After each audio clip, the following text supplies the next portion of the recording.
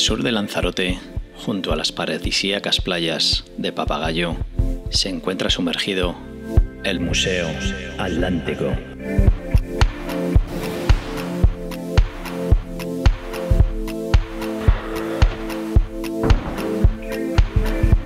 En él, la fauna subacuática de las islas se fusiona con la flora terrestre sumergida en este paradisíaco lugar.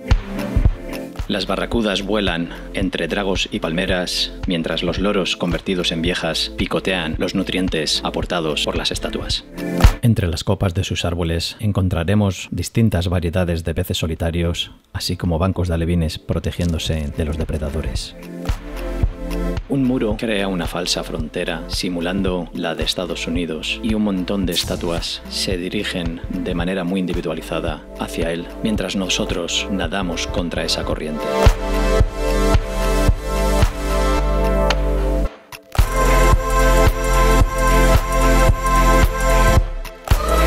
No podía faltar el selfie en las estatuas del siglo XXI.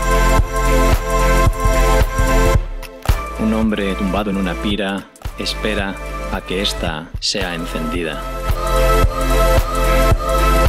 Para los buceadores resulta difícil no empatizar con las estatuas y de vez en cuando se mimetizan con el entorno del museo. En este conjunto circular de más de 200 cuerpos se está generando un arrecife que engendrará una gran cantidad de vida en el futuro. Estos hombres de negocios han decidido hacer un break y subirse al balancín. Mientras este otro hombre, rodeado de barracudas, parece no preocuparle y sigue columpiándose.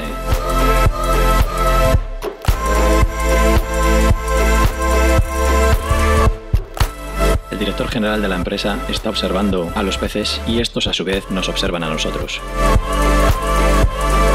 Como si de una película de cuerdas se tratara, las estatuas brotan del fondo del océano, acompañándonos a lo largo del itinerario.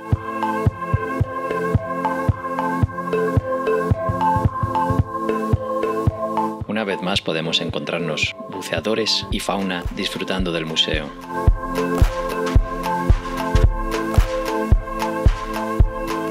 En este espejo, numerosos pulpos han pasado buenos ratos acicalándose con sus ocho tentáculos. Lo mismo sucede con las estatuas, que a cada aletada que damos parecen girarse para seguir al buceador.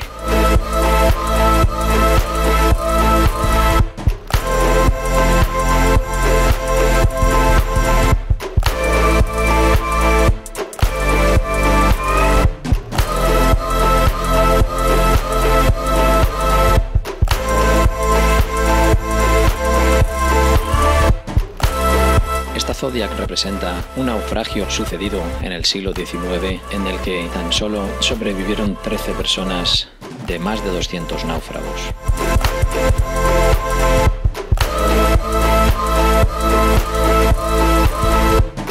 Los jotaleros aparecen a nuestro encuentro regateando sobre sus embarcaciones hechas con bidones y remando con las manos.